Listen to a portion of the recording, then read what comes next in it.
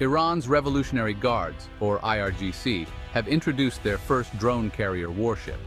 It's essentially a modified commercial ship designed to deploy several squadrons of drones and helicopters. This announcement was made by the naval commander on February 6. The vessel, named Shahid Bagheri, features a 180-meter flight deck and can operate in rough seas for up to a year without needing fuel.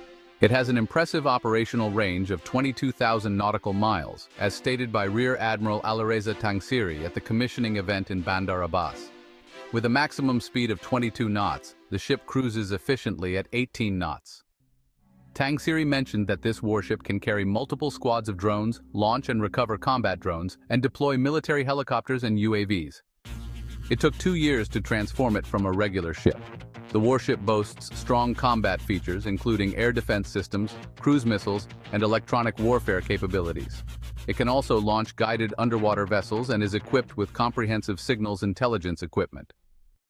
In addition to its military functions, the ship includes medical facilities like an operating room, CCU, radiology, and dental care. Recreational areas feature a gym, artificial turf field, and fitness center, Tangsiri highlighted that this development boosts Iran's defense and deterrent abilities in far-off waters, helping to safeguard national interests.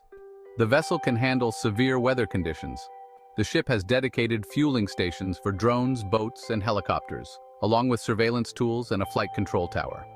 This marks the 15th equipment induction ceremony for the IRGC Navy and represents their largest project to date. Tangsiri indicated that the commissioning aligns with Supreme Leader Khamenei's goal of building a mobile naval force and the military chief's directive to strengthen military presence in deeper waters.